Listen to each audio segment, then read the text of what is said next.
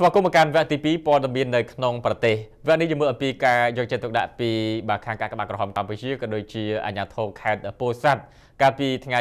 22ម្សិលមិញនេះអាយរំជឿតែអភិបាលខេត្តពោធិ៍សាត់និងប្រធានក្រុមប្រឹក្សាភិបាលបានអញ្ជើញសុខសុខទុកនិងនាំយកនៅអំណោយដើម្បីចែកជូនដល់ពលរដ្ឋប្រមាណជា400គ្រួសារមកពីភូមិបំណក់ស្ថិតនៅក្នុងឃុំឈើតុំស្រុកក្រកោខេត្តពោធិ៍សាត់ដែលទទួលរងគ្រោះដោយសារតែទឹកជំនន់កាលពីថ្ងៃ21 បើខែកញ្ញានាពេលថ្មីថ្មីនេះ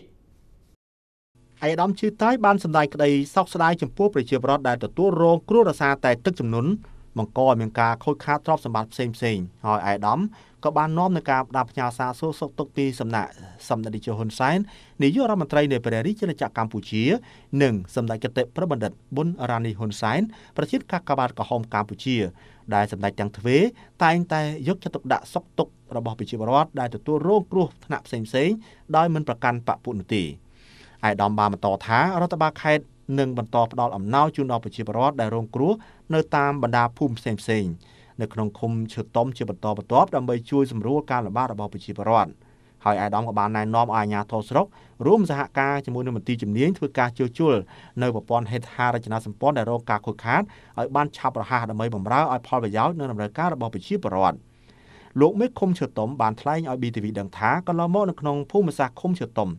ធ្លាប់មានគ្រោះទឹកជំនន់តែក្នុងឆ្នាំនេះមានសភាពធ្ងន់ធ្ងរជាងបណ្ដាឆ្នាំកន្លងទៅដែលបានបង្កផលប៉ះពាល់ដល់ការរស់នៅរបស់ប្រជាពលរដ្ឋនិងធ្វើឲ្យមានការខូចខាតប្រព័ន្ធហេដ្ឋារចនាសម្ព័ន្ធផ្សេងៗជាច្រើនទៀតផងបា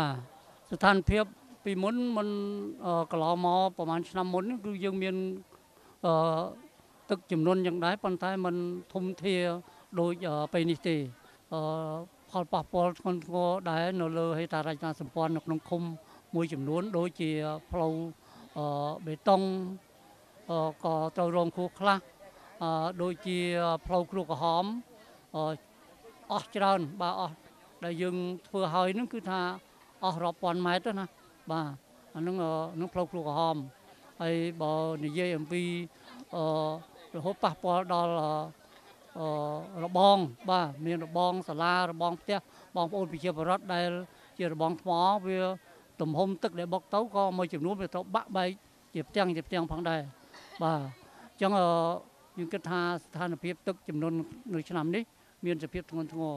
បាទចឹងបាទសូមបញ្ជាក់ជូនថាកាលពីវេលាព្រឹកថ្ងៃទី21ខែកញ្ញានៃឆ្នាំ2022នៅឃុំជតុំស្រុកក្រកោ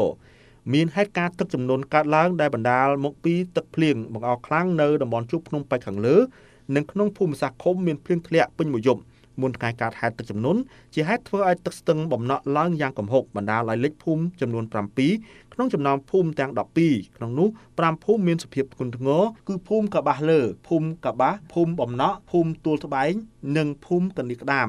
ប៉ះពាល់ដល់ផ្ទះសម្បែងប្រជាពលរដ្ឋចំនួន1174គ្រួសារស្មើនឹងមនុស្សចំនួនប្រមាណ65,000នាក់ ដែលបានបំផ្លាញហេដ្ឋារចនាសម្ព័ន្ធនានា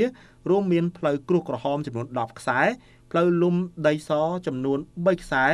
តូបផ្សារបំណក់ចំនួន7តូបរបងថ្ម84ម៉ែត្រនិងការខូចខាតផ្សេងផ្សេងដូចជាសម្ភារៈដំណាំសត្វចិញ្ចឹមទ្រព្យសម្បត្តិប្រជាពលរដ្ឋទោះបីយ៉ាងណាក៏ដោយហេតុការណ៍ទឹកចំនួននេះពុំមានគ្រោះថ្នាក់ដល់អាយុជីវិតមនុស្សនោះឡើយបច្ចុប្បន្នទឹកបានស្រកចុះជាបណ្ដាបណ្ដាវិញហើយ។